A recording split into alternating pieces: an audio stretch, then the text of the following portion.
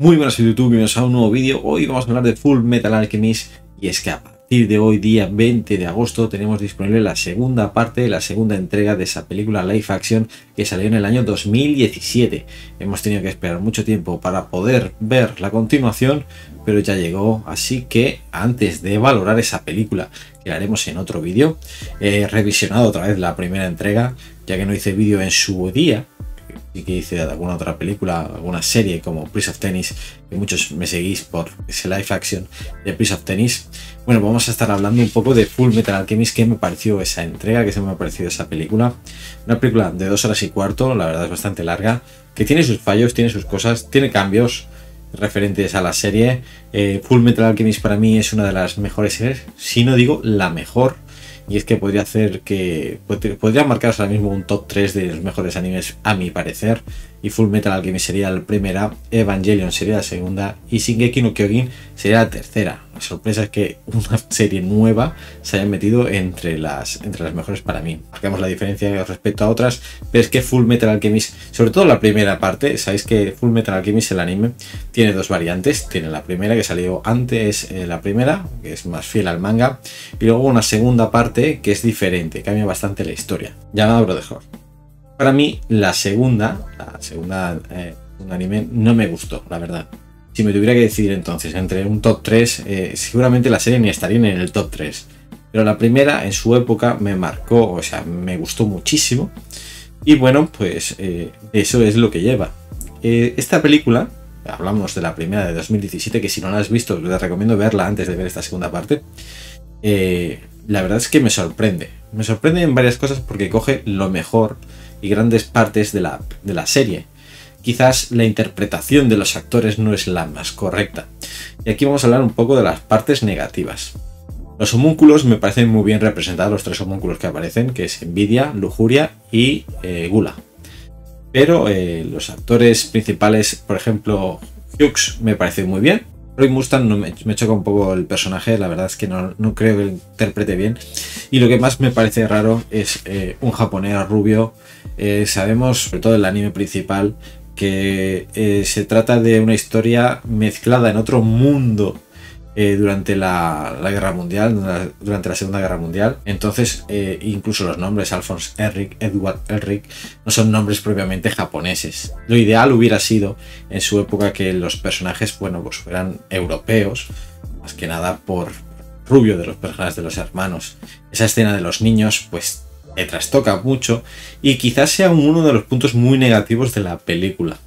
Ese ver ese principio, aunque tú si eres amante del manga vas a continuar viéndolo, si eres amante del anime, eh, se hace difícil ver esos personajes con ese rubio y luego pues eh, Edward de mayor, todo la peluca todo continuamente, es difícil. Quizás debería haberse hecho un casting más o menos parecido a lo que tenemos idea de lo que es One Piece que están haciendo, que es un casting más internacional.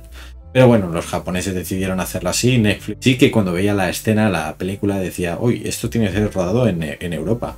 Y perfectamente ha sido rodado en Italia. Hay muchas escenas que te recuerdan a, lugares emblemáticos. Si has visitado Italia, que podría ser perfectamente pues, cualquier población. Sí que se veía que eran edificios muy mediterráneos. Y bueno, pues eh, perfectamente la película eh, está bien, está muy bien, la verdad. Cuenta muchas historias. Eh, evidentemente lo de George Tucker pues es lo que más que más afecta. Y hay una muerte de un personaje que también te toca mucho. Pero bueno, no es igual realmente que el anime. El anime te toca ese momento de decir qué está sucediendo, qué es lo que está pasando. Eh, incluso los personajes no llegan a, mostrar de alguna manera ese, ese cariño que se tienen. Esa, la serie en sí es una muestra de, del amor entre hermanos y de, de lo que cada uno ofrece por el otro. Entonces aquí, esta película, eh, realmente eso no se ve. Es que la interpretación de los japoneses es muy difícil y, se hace solo para ellos y de alguna manera pues como que te choca. Sí que las escenas de humor están, bueno, más o menos llevadas, pero bueno, tenía que haberse llevado, mm, llevado mejor. Eh, los efectos especiales están bien, no puedo quejarme tampoco de una película de hace muchos años, de hace 5 años, 4 años, y que bueno, que siendo un presupuesto, bueno, pues una película para Netflix perfectamente en, Japón podía haberse eh, proyectado en un cine. Por lo demás, eh, espero esta película, La venganza de Scar, un personaje que no nos han mostrado, cicatriz, ya sabéis. Él intenta evitar lo de la piedra filosofal. Edward ha encontrado una piedra filosofal. Eh, no quiere eh, utilizarla para recuperar el cuerpo del hermano, porque como sabéis, los hermanos Edward, Edward Enric y Alphonse Enric eh, sufrieron la muerte de su madre, intentaron rescatarla, intentaron recuperar el cuerpo y bueno, pues infringieron una de las normas de la alquimia. Entonces, pues fueron castigados de alguna manera. Y bueno, Edward consiguió atar el alma de su hermano a esa armadura, esa enorme armadura, que realmente en la, película está muy bien hecho. Podría ser algo muy cantón, pero está muy bien hecho, está muy bien llevado.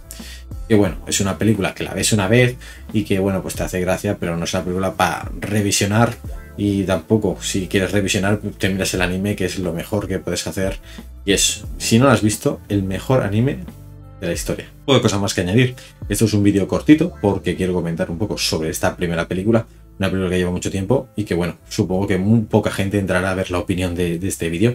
Y propiamente eh, continuaremos eh, esta semana publicaré la opinión de esta segunda película, a ver qué me parece La venganza de Scar, si ha mejorado respecto a la primera, si ha sentado bien ese, ese parón de tiempo. Si os gusta este tipo de contenido ya sabéis darle like, suscribiros al canal para más y dejarme en comentarios qué os ha parecido esta primera película, si no la habéis visto hasta ahora, o lo que recordáis de ella, y qué os ha parecido esa segunda.